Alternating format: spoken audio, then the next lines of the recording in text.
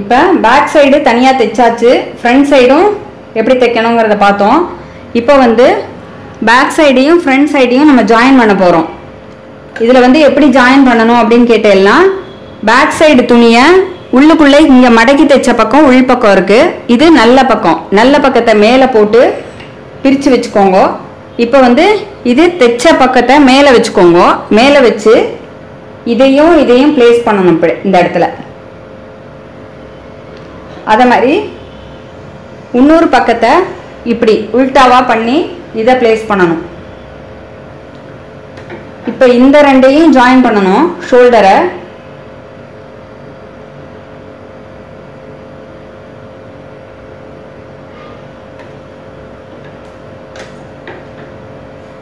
ஷோல்டரை வந்து கரெக்டாக பிளேஸ்மெண்ட் பண்ணி ஜாயின் பண்ணிக்கோங்க.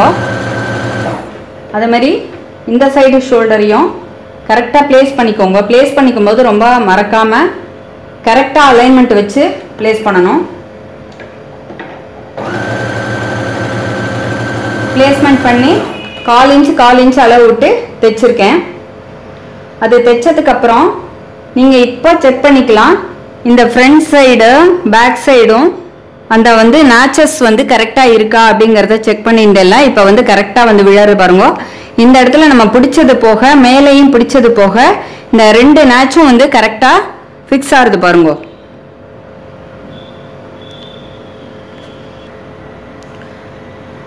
இப்போ ஃப்ரண்ட் சைடு தைச்சாச்சு பேக் சைடு தைச்சாச்சு ஷோல்டர் ஜாயின் பண்ணியாச்சு. அதுக்கடுத்து ஹேண்ட் ஜாயின் பண்ணோம்.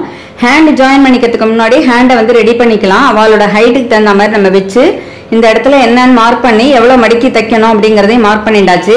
இப்போ இந்த இடம் வந்து மடக்கி தைக்கிறது வந்து ஹெம் ஆக்சுவலாக ஹெம் பண்ண போகிறோம் இந்த ஹெம்மிங் பண்ணுறதுக்கு என்ன வேணும் அப்படின்னு கேட்டேன்னா இந்த இது மிஷின்லேயே ஹெம் பண்ணுற பண்ண பண்ண போகிறோம் அப்படிங்கறதுனால இந்த ஃபூட்டை நான் கழட்டி கழட்டி எடுத்தாச்சு. இதுக்கு ஹெம்மிங்க்கு உள்ள ஃபூட்டு வந்து ஆர்னு எழுதியிருக்கும் இதில். இதில் வந்து பேக் சைடு இந்த மாதிரி இருக்கும். இந்த சைடு அடியில் இந்த மாதிரி இது வந்திருக்கும்.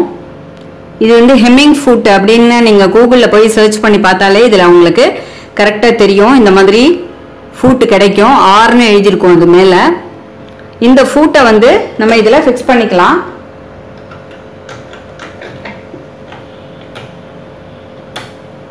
ஃபிக்ஸ் பண்ணிட்டாச்சு. அதை ஃபிக்ஸ் பண்ணதுக்கப்புறம் இதில் வந்து இந்த சுவிட்சில் உள்ள மார்க் மாற்றிக்கணும் இதில் வந்து ஒன் ஜீரோ அப்படின்னு வைக்கணும். டென் அப்படின்னு வைக்கணும். இதில் வந்து டென் அப்படிங்கிற இடத்துல எப்படி வருது பாருங்க இந்த டிசைன் ஜூம் பண்ணி காமிக்கிறேன்.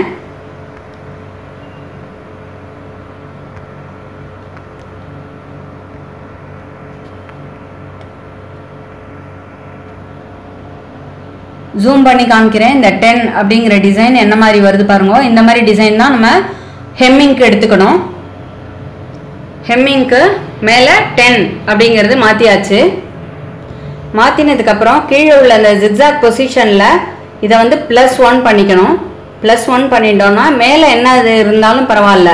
நமக்கு வந்து இந்த ஸ்டிச்சிங் வந்து நம்ம நம்பர் டென்னில் இருக்கணும் டிசைனில் இருக்கணும்.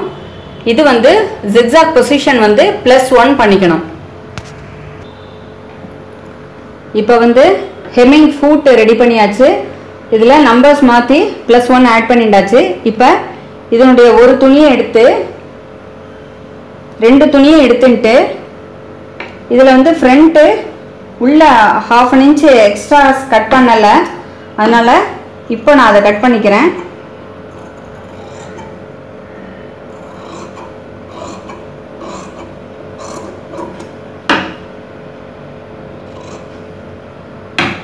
இந்த மாதிரி இது கட் பண்ணிக்கும் போது இதில் வந்து இந்த இடத்துல எந்த இடத்துல நேச் போட்டிருக்கேலோ அந்த இடத்த டச் பண்ணக்கூடாது. அது மாதிரி மேலே இந்த இடத்த டச் பண்ணக்கூடாது. அதுக்கு இன்னண்ட இங்கே மாத்திரம் நம்ம கட் பண்ணி எடுத்துட்டுருக்கேன். இப்போ ஓ பொசிஷன் வந்து இப்படி மாற்றி மாற்றி வச்சுக்கணும்.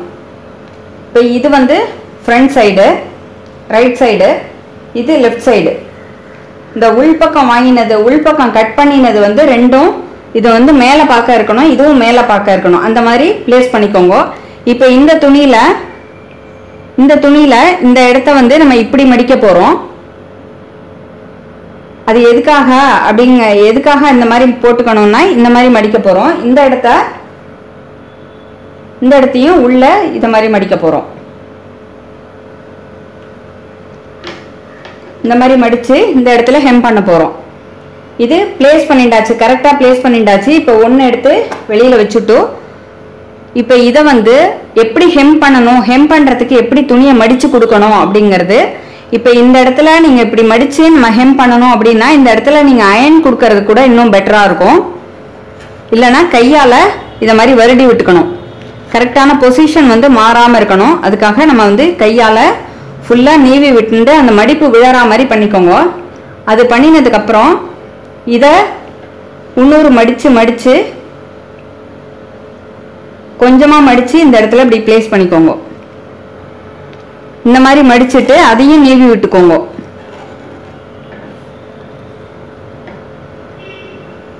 இப்போ நம்ம கையால் தைக்கும் போது இந்த மாதிரி மடிச்சுட்டு இந்த இடத்துல இந்த ஓரத்தை எட்ஜை தைச்சுட்டு இந்த இடத்துல கையால் ஹெம் பண்ணுவோம். இது நான் வந்து கையால் ஹெம் பண்ண போகிறது இல்லை அப்படின்னா கூட மிஷின்லேயே பண்ணணும் அப்படின்னா கூட கையால் எப்படி ஹெம் பண்ணுறதுக்கு எப்படி மடித்து வச்சுப்போமோ அதே மாதிரியே முன்னாடியே ரெடி பண்ணி வச்சுக்கணும்.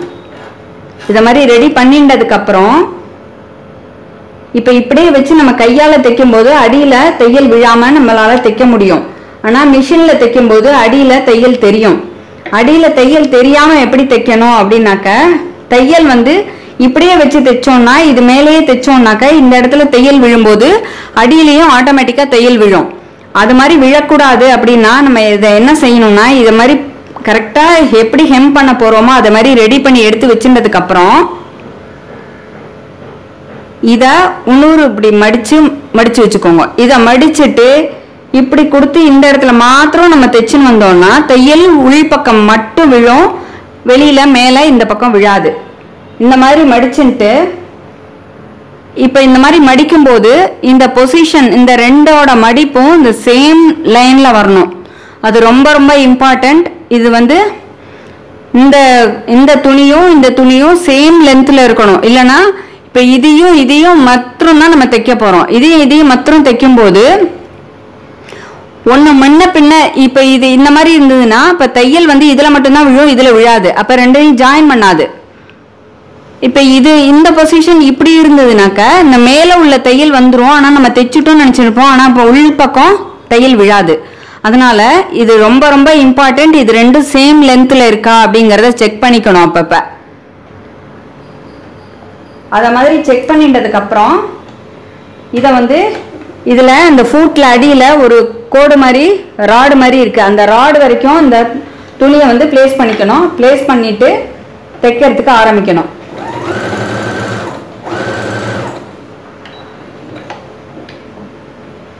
அது மாதிரி தைக்கும்போது கொஞ்சோண்டு தைச்சுட்டு எடுத்துட்டுருங்க. நூலால் பிடிச்சி அப்போ தான் நூலால் பிடிச்சி நம்ம பின்னாடி இழுத்துக்க முடியும்.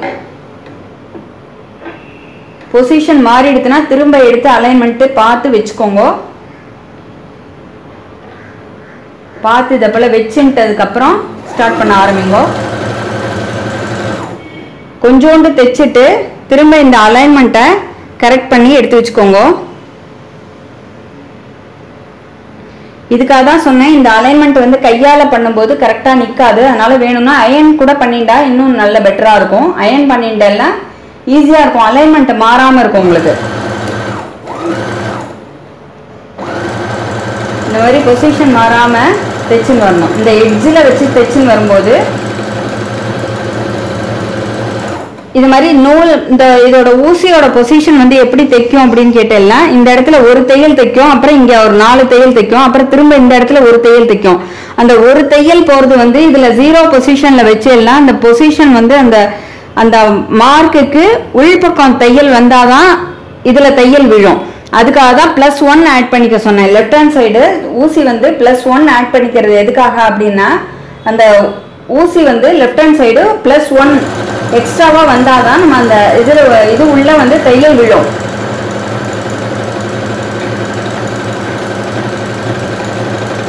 இப்போ இந்த இது புரிஞ்சிருக்கும்னு நினைக்கிறேன் உங்களுக்கு.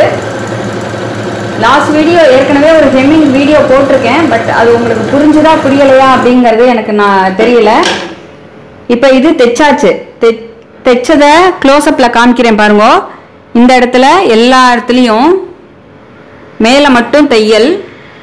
இந்த இடத்துல ஒரு தையல் விழுந்துன்னா நாலு தையல் மேலேயே தான் விழுந்திருக்கும் துணி. இந்த பாருங்க. உங்களுக்கு நான் அதை காமிக்கிறேன். இந்த இது எடுத்து மேலே காமிக்கிறேன் பாருங்க. அந்த தையல் வந்து இந்த எக்ஸ்ட்ரா தையல் வந்து தனியாக தான் இருக்கும் அந்த இதில்.